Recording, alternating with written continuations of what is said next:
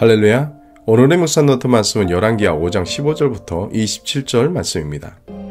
나아만이 모든 군대와 함께 하나님의 사람에게로 돌아와서 그의 앞에 서서 이르되 내가 이제 이스라엘 외에는 온 천하에 신이 없는 줄을 아나이다. 청하건대 당신의 종에게서 예물을 받으소서. 내가 섬기는 여호와께서 살아계심을 두고 맹세하노니 내가 그 앞에서 받지 아니하리라. 나만이 받으라고 강권하되 그가 거절하니라 나만이 이르되 그러면 청하건대 노새 두 마리의 실을 흙을 당신의 종에게 주소서.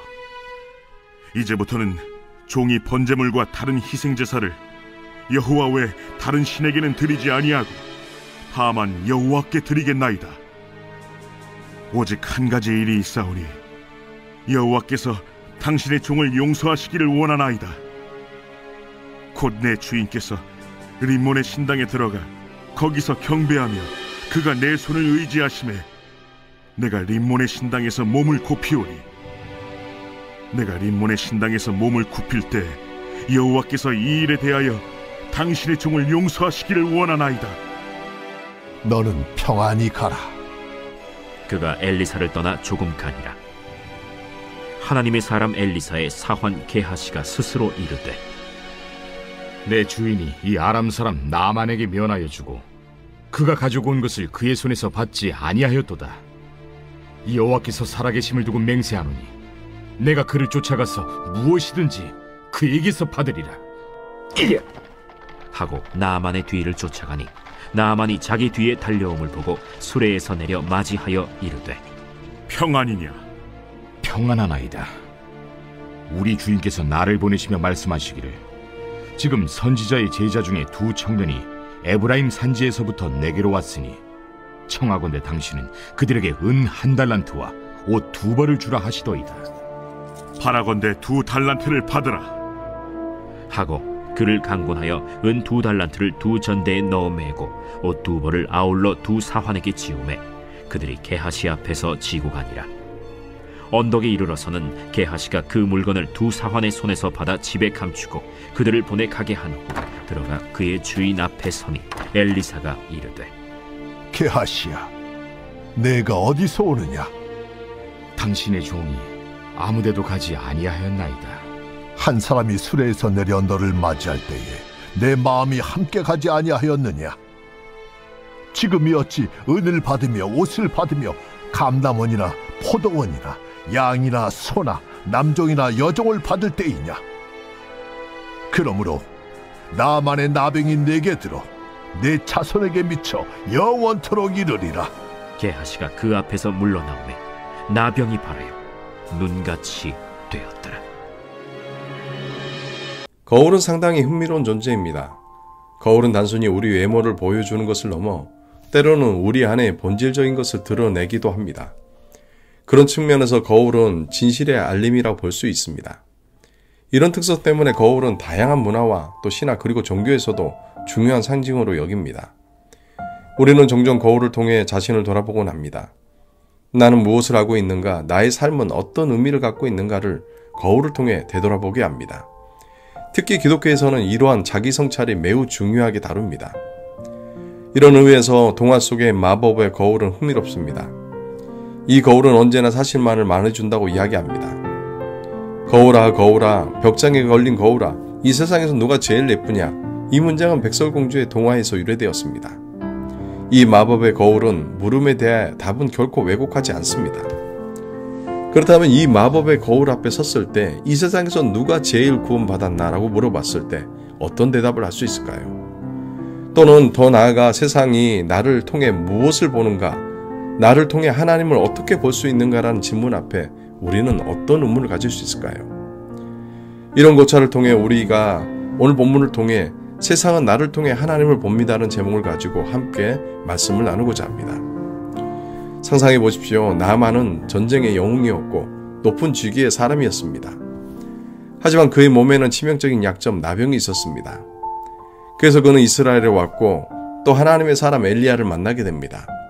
엘리사는 요단강에서 번 몸을 씻으라고 명령합니다. 처음에는 이해할 수 없는 명령이었지만 그 결과 놀랍게도 나병이 완치되었습니다. 그래서 나아만은 확신을 갖게 됩니다. 이스라엘의 하나님만이 진짜 신이라고 그는 고백하기 시작합니다. 이처럼 나아만은 자신의 나병의 치유함과 동시에 이스라엘의 하나님이 참된 신임을 깨달았습니다. 나아만은 단순히 육체적인 치료를 뛰어넘어 영적인 치유까지 경험하게 된 것입니다. 그리고 그의 고백은 그동안 알지 못했던 하나님의 성품과 또 역사를 되돌아보며 발견한 결과입니다. 이것은 그에게 주어진 두 번째 기회이고 또 다른 삶의 시작을 의미합니다. 이제 나아만은 다시 자기 나라로 돌아가야 합니다. 그런데 문제가 하나 생깁니다. 그는 왕을 섬기면서 우상을 숭배해야 하는 어쩔 수 없는 상황 가운데 놓이게 된 것입니다. 하지만 나아만은 그래도 나는 이스라엘의 하나님만 믿을 거라고 자기 신앙을 확고히 합니다. 그렇습니다. 우리도 이 땅을 살아가다 보면 고백과 현실 사이에서 균형을 잡기가 어렵습니다. 그렇게 오늘 나아만의 모습은 우리에게 많은 것을 가르쳐 줍니다. 하나님은 나반을 통해 그의 주변 사람들, 특히 왕과 귀족들에게 자신만이 참된 신이라는 것을 알리고 싶어 하십니다. 왜냐하면 나만은 왕과 귀족들에게 큰 영향력을 가진 사람이기 때문입니다. 그렇게 하나님은 나반을 통해 더 넓은 범위의 사람들에게 자신의 영광을 나타내어 하나님의 영광을 세상에 알리기를 원하셨기 때문입니다. 그렇습니다. 나만이 겪은 변화와 고백은 진짜 놀라운 일입니다. 그리고 그게 바로 하나님의 영광이 세상에 어떻게 나타나는지를 보여주는 것입니다. 이러한 나아반의 현실적 고민은 우리 모두에게 신앙과 현실 사이에서 어떻게 조화를 이룰지에 대해 중요한 교훈을 줍니다. 기억하십시오. 하나님은 나아반을 통해 자신만이 참 하나님을 알리고 그 결과로 많은 사람들이 하나님을 찾기를 원하셨습니다. 이처럼 하나님은 나아반과 같이 어려운 상황 속에서도 믿음을 지킬 수 있는 우리 모두를 통해 놀라운 일을 하실 수 있습니다. 계속해서 본문을 살펴보면 엘리사의 종 게하시 이야기가 등장합니다. 우리가 이 게하시 이야기를 들어볼 때면 대부분의 사람들은 아 그 사람 말고 다른 사람 이야기를 들려줘라고 생각합니다. 왜냐하면 게하시는 나쁜 예로 잘 알려져 있기 때문입니다. 그렇지만 그의 이야기를 통해서도 우리에게 중요한 교훈을 주고 있습니다. 한번 본문의 내용을 상상해 보십시오. 나반 장군이 치료를 받고 감사의 의미로 엘리사에게 애물을 주려고 합니다. 엘리사는 애물을 받지 않았습니다. 그런데 이때 게하시 마음에는 다른 생각이 듭니다. 이런 좋은 기회를 놓칠 수 없어. 나도 뭔가를 얻어야겠어. 게하시는 엘리사 모르게 비밀리에 나만에게 애문을 받아옵니다. 이는 마치 하나님의 영광을 자신에게로 가져오려는 탐욕적인 행동입니다. 게하시는 본래 하나님의 영광을 받아야 할 엘리사의 애물을 받아온 곳이 드러나고 엘리사는 그를 심판합니다. 내가 어디에 이런 일을 했느냐? 이제 너는 나만의 나병을 물려받을 것이라고 책망합니다. 결과적으로 게하시는 나병을 얻게 됩니다. 기억하십시오. 이처럼 하나님의 영광을 가로챈 결과는 이와 같습니다. 게하시의 얘기를 통해 하나님의 영광을 자신에게로 가져오는 행위의 결과가 어떠한지를 우리에게 분명히 보여줍니다. 게하시는 자신의 탐욕 때문에 하나님의 영광을 빼앗아 그 결과로 심판을 받은 것입니다. 그렇습니다. 게하시처럼 탐욕의 덫에 빠지지 마십시오. 오직 하나님께만 영광을 돌리는 삶을 살아가십시오. 오늘 하루를 살면서도 나도 나만처럼 믿음의 고백을 통해 하나님의 영광을 드러내며 사는지를 돌아보시길 바랍니다. 나만은 그의 나병에서 치유되고 나서 이스라엘의 하나님만이 참 하나님이라고 고백합니다. 그는 우상 숭배하는 환경 속에서도 그가 섬기던 왕과 귀족 앞에서도 믿음의 고백을 합니다. 우리 역시 이러한 환경 속에서도 하나님 앞에 영광을 돌릴 수 있는지 돌아봐야 합니다. 또한 개하시는 탐욕으로 하나님의 영광을 빼앗으려 했습니다. 그리고 그로 인해 나병을 얻었습니다. 우리는 이와 같이 비슷한 상황에서 어떤 선택을 하십니까? 하나님의 영광을 나의 유익을 위해 끌어들이고 있다면 믿음의 결단을 하십시오. 오늘 본문에 등장하는 나아만과 게하시 그리고 이 두 인물을 통해 우리에게 선택의 중요성을 깨닫게 합니다. 나아만은 변화와 고백을 통해 하나님의 영광을 나타냈고 게하시는 자신의 탐욕으로 하나님의 영광을 빼앗아 심판을 받았습니다. 그렇다면 우리는 무엇을 선택하고 따라야 할까요? 뿐만 아니라 나와 나만 개아시 사이에서 우리의 위치는 어디에 있는지 스스로 물어봐야 합니다. 이러한 질문을 통해 자신의 삶에 어떤 변화가 필요한지를 발견하게 될 것입니다. 기억하십시오. 우리는 매일매일 작은 선택을 통해 하나님의 영광을 나타낼 수도 있고 그 영광을 빼앗을 수도 있습니다. 그 선택은 우리에게 달려 있습니다. 그렇다면 오늘 하루 어떤 선택을 할 것입니까? 말씀 정리합니다. 기억하십시오. 첫 번째로 하나님은 우리를 통해 당신의 영광을 세상에 나타내고 싶어 하십니다. 하나님은 당신의 형상대로 우리를 창조하셨고 우리에게 그 능력과 책임을 허락해 주셨습니다. 그것은 성도된 우리에게 크나큰 명예이고 책임입니다. 뿐만 아니라 나아만은 사항과 유치에 상관없이 하나님의 영광을 세상에 나타냈습니다. 그가 그랬던 것처럼 우리도 어떤 상황에서도 하나님의 영광을 나타내며 살아야 합니다. 이를 통해 세상은 하나님을 볼 수 있습니다.